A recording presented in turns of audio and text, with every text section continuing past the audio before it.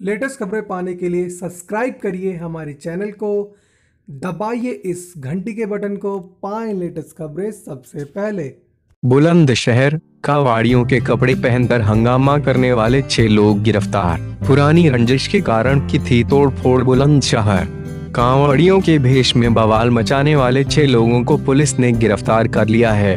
इसमें मुख्य आरोपी भी शामिल है। आरोपियों ने दो दिन पहले कांवड़ियों के कपड़े पहनकर पुरानी रंजिश के चलते उत्पाद मचाते हुए डायल 100 पर तैनात पुलिस कर्मियों के साथ मारपीट करते हुए पीसीआर वैन में तोड़फोड़ की थी।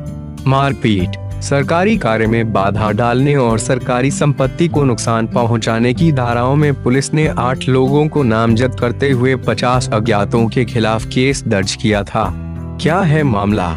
7 अगस्त को ज़िले के नरसैना थाना की बुगरासी चौकी क्षेत्र के बुकलाना गाँव में कांवड़िए द्वारा उताप और तोड़फोड़ करने का मामला सामने आया था। यही नहीं, कांवड़ियों ने पुलिस के साथ हाथापाई की और पुलिस की कार को डंडे बरसाकर नुकसान पहुँचाया था।